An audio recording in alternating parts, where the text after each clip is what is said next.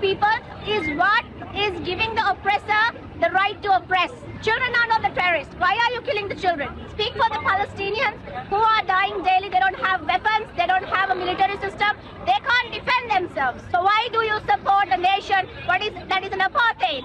Why do you support someone who is killing innocent people? That is not right. Speak up. Stand up. I know the United Nations and the whole world is asking for peace, but they are not listening. They are still bombing and because they want to vanish. And one of their plans is to occupy Gaza. They want people to leave so that they can occupy. I'm just trying to let you know to go get a piece of land in the US or in Europe or in any other place where you came from and leave the Arabs alone and let us live.